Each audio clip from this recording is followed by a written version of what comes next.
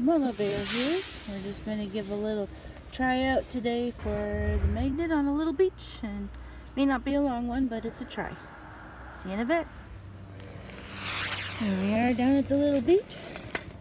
Just going to drag the magnet around and have a little go. Um, we got some sand, we got some grass, so you never know where things could be hiding. This is on Okanagan Lake pretty sure Huggy Bear did a little blurb on this spot, but it's close to my sister-in-law's. Shout out to Crystal and TJ.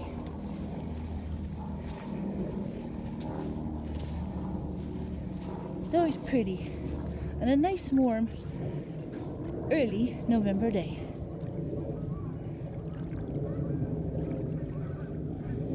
And again, some nice clear water.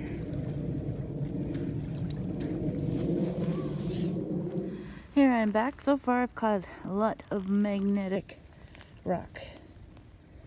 Underneath.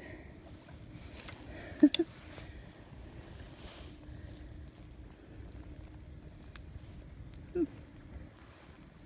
Interesting. As you can see, I'm just dragging my little magnet along anything surface will pop out like the nails did on our last video so far. Lots of magnetic rock and sand.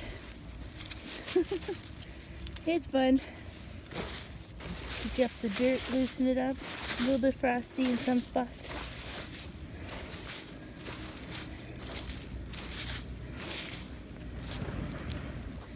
And when I get the beach covered I will go back and do some grass. See if we can find anything in there. See you soon.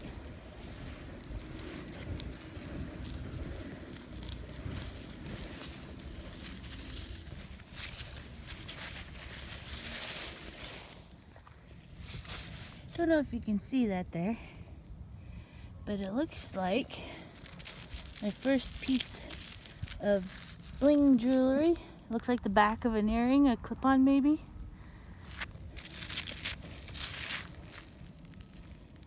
Interesting. Interesting. So, Mama Bear back again. And look what the magnet picked up.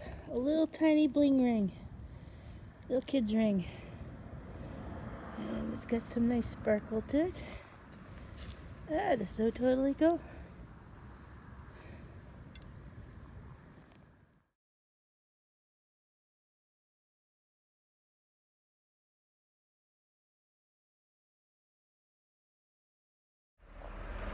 Mama Bear here, just finishing off my day.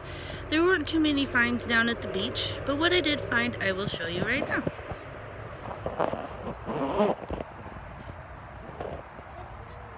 Where are they? Oh, they're there. I found a pull tab, the back of an earring, looks like a clip-on, and a little piece of wire.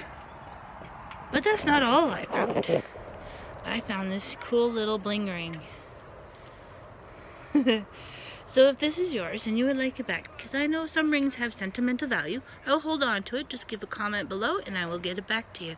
Have a great day.